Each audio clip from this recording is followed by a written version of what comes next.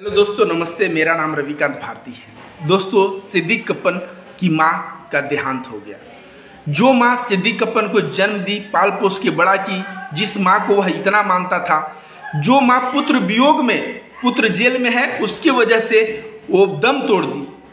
आज सिद्दीक कप्पन अपने माँ के लिए कंधा भी नहीं दे सकता। यह इतना बड़ा अभागा इंसान है। आखिर सिद्दीक कप्पन का दोष क्या था? सिद्दीक कपन का दोष यही था कि वह मुसलमान घर में पैदा हो गया। दूसरा कोई दोष नहीं था दोस्तों। हाथरस में हज़ारों रिपोर्टर्स पहुँचे। हिंदू थे तो बच गए। ये बंदा मुसलमान था तो इसको पकड़ के अंदर कर दिया गया। तो क्या इस देश में मुसलमान होना देशद्रोही का ठप्पा लग जाना है? क्या इस देश में मुसलमान पैदा होना आपको मार मार के लिंचिंग कर देना है? क्या इस देश में मुसलमान पैदा होना आपको जेल में ठूस देना है? जी हाँ जब से बीजेपी सरकार आई है, योगी आदित्यनाथ की सरकार आई है, तब से यही एग्ज़ाम्पल ये लोग पूरे देश में सेट कर रहे हैं। सिद्दीक कपन के बारे में बात करते हैं, यह केरला का एक जर्नलिस्ट रहते हैं, ये दिल्ली से काम करते हैं, जब हाथ रस का केस होता है, जो योगी आदित्यनाथ रातों रात लाश को जलवा देते हैं। रिपोर्टर्स गाँव में जब कुछ करते हैं तो रिपोर्टर्स और पुलिस के बीच झड़प होती है। आप सभी को वो दिन याद होगा। ये उसी मामले में सिद्दीक कपन जा रहे थे रिपोर्ट लेने हाथरस गाँव में और इनको मथुरा टोल प्लाजा से पकड़ के अंदर कर दिया गया और इनके ऊपर पहले तीन धारा लगाया गया। धारा 107, 116, 151 ये धारा होता है शांति भंग करने का धारा। छह महीना के अंदर पुलिस को इसका इन्वेस्टिगेशन करके प्रमाणित करना होता है कि बंदा सही में शांति भंग करने का प्रयास किया या नहीं किया।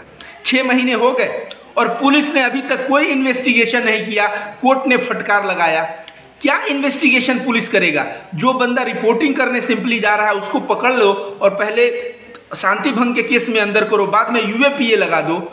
क्यों यूएपीए लगाओ? क्योंकि वह मुसलमान है। आप समझिए, रातों रात बेटी को जला दिया गया। इस बात को अगर फेसबुक पे लिखना, यह योगी जी और बीजेपी की बदनामी हो गई? जब से भाजपा आया है, इन लोगों को चुल्लू भर पानी में डूब के मर जाना चाहिए, क्योंकि किसानों के साथ जो खड़ा है, उसके ऊपर ये लोग कहते हैं, सरकार को बदनाम कर रहा है, दिशा रवि को अंदर कर दिए। जो आदमी कोरोना में मौत हुआ है, उसके ऊपर आवाज़ उठा रहा है, ये लोग कह रहे हैं टूल किट चल रहा है, राहुल गांधी टूल किट चला रहे हैं। मतलब पेट्रोल सौ रुपया हुआ है आप अगर कहेंगे पेट्रोल सौ रुपया हुआ इसका मतलब आप सरकार को बदनाम कर रहे हैं आपको टूल किट लगा के अंदर कर दिया जाएगा। इन गोबर भक्तों को यह बात क्यों नहीं समझ में आती?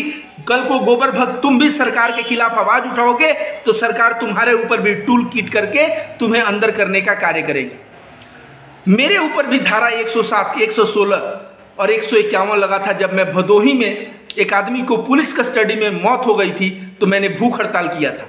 छह महीना में रफा दफ़ा हो गया। क्यों? क्योंकि मैं रविकांत भारती एक हिंदू था। ऐसे तमाम हिंदू हाथरस में पहुँचे थे, लेकिन उनके साथ कुछ नहीं हुआ। यह बंदा मुसलमान था, पढ़ा लिखा जर्नलिस्ट था, जैसे डॉक्टर कफिल खान। डॉक्टर कफिल खान को कैसे अंदर किया गया था? वैसे ही इस बंदे को अंदर कर दिया गया। अब जब पुलिस इन्वेस्टिगेशन में फेल रही तो कोर्ट ने जब फटकार लगाया तो सिद्दीक कपन का क्या स्टेटमेंट है कोर्ट के बाहर? इन्होंने कहा कि मुझे भारत के संविधान पे पूर्ण भरोसा है, लेकिन मेरे साथ न्याय में देरी हो रही है, मेरे साथ न्याय में देरी हो रही है। इसी के साथ वो गाड़ी में बैठ गए और चले गए।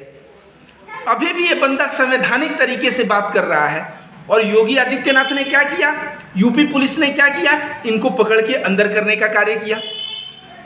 अब आपको ये बात बता दे, ऐसा समझिए कि यूएपीए इनके ऊपर लगाया गया तो कहा गया ये पीएफआई के मेंबर हैं, जो एक बैन ऑर्गेनाइजेशन है। ये लोग वेबसाइट बना के और इसको सांप्रदायिक एंगल या किसी न किसी तरह दंगा करवाना चाहते थे। डीजल पेट्रोल का दाम बढ़ गया है। मैं एक खरीद लूँ कि मोदी सौ के पार पेट्रोल किए और वेबसाइट करके उसके अंदर लिखूं तो मैं क्या देशद्रोह का मुकदमा मेरे ऊपर होगा? देश में जो होगा, अगर सामने वाला आवाज़ नहीं उठाएगा तो एक ऐसा है, आप कह रहे हो पीएफआई का मेंबर है, प्रमाणित करो। एक तो इन्वेस्टिगेशन हो नहीं पा रहा है, शांति भंग का पीएफआई का मेंबर है। क्या देश में कोई मुसलमान है तो उसके ऊपर क्या अत्याचार ऐसा होगा? उसकी माँ मर गई, आज कौन दोष है? दोषी कौन है? एक पढ़े लिखे व्यक्ति की माँ मर गई और वो बंदा आज भी जेल में अपने माँ का दर्शन उसको दुर्लभ है। आप ही सोचिए, इस योगी आदित्यनाथ और मोदी किस तरह का देश बनाना चाहते हैं? ये लोग ऐसा देश बनाना चाहते हैं कि जो भी सत्य को अपने मुँह से बाहर निकाले, उसके ऊपर देशद्रोह का मुकदमा करो और अंदर करो। कल को राकेश टिकैत के ऊपर भी ये लोग देशद्रोह का मुकदमा लगा देते लेकिन राकेश टिकैत मुसलमान नहीं है। अगर देखा जाए तो ये लोग देशद्रोह का मुकदमा बाबा साहब अंबेडकर के परिवार वाले लोगों पे लगा दिए हैं, आनंद तलतड़वल के ऊपर लगाए हैं। क्यों? क्योंकि वो अपने पेन और अपने आवाज़ के बल पे वो माहौल बदल देता है।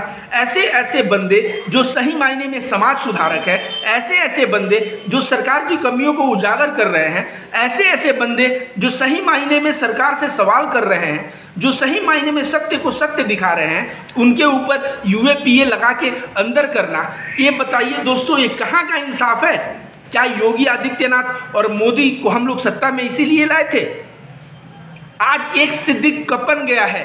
कल को मैं बता रहा हूँ, ये लोग देखेंगे इनका हौसला बढ़ेगा तो और भी मुसलमानों को टारगेट किया जाएगा। बाद में फिर दलितों को टारगेट किया जाएगा और धीरे धीरे जो इन लोगों का विचारधारा है, एजेंडा हिंदू राष्ट्र बनाना, इसमें केवल अपर कास्ट लोगों को छोड़ के बाकी सभी लोगों को अंदर कर दिया जाएगा।